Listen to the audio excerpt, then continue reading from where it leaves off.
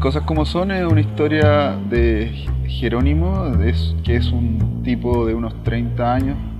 que, está, que es un poco solitario y arrienda piezas a extranjeros.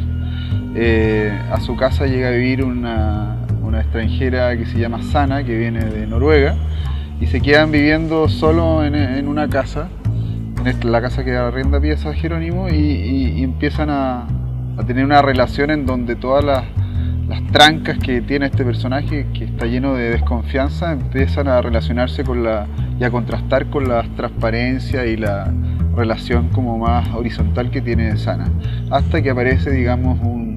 elemento sorpresa que trae ella y que le cambia un poco el mundo a Jerónimo. Hola. Te voy a dejar las llaves acá surge con, por la intención de, hablar de la desconfianza. Creo que la desconfianza es un tema que, a mí me interesa tratar, que me parece que es, eh, es bastante relevante en la sociedad de hoy y sobre todo en nuestro país. Creo que, la desconfianza ha ido creciendo con el tiempo y hoy en día es como bastante común y es, es como la confianza como valor un poco se ha perdido y creo que eso es fundamental para las relaciones humanas, para, el día a día, para la cotidianidad, para relaciones amorosas, sentimentales, de trabajo, de todo tipo.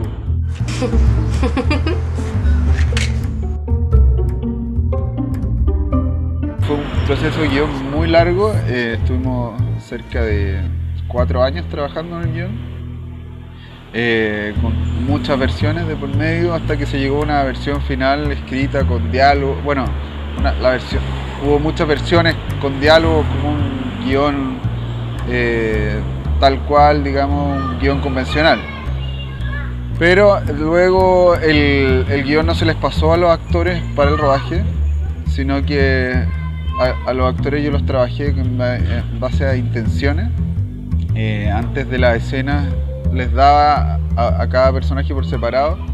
las, intenciones de esa escena, con lo que tenía que llegar, las cosas que quería llegar, que ellos llegaran a esa escena, las cosas que tenían que sacar del otro personaje, etc.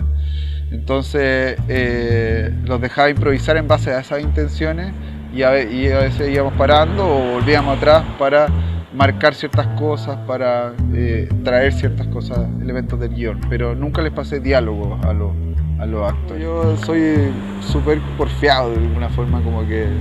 me meto en algo, aunque me demoré, lo, quiero terminar, digamos. Y, así lo he tomado siempre con el cine, desde, desde los cortometrajes hasta, hasta ahora que hago largo. Eh, meterse en una cuestión y, porfiar, porfiar, empeñarse hasta que, hasta que salga. En algún minuto tiene que, tiene que caer, digamos, entonces tiene que formarse. Entonces,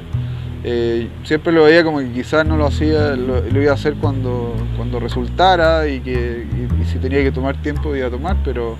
pero no veía como ninguna posibilidad de no hacerla, como que tenía que hacerse aunque costase mucho tiempo.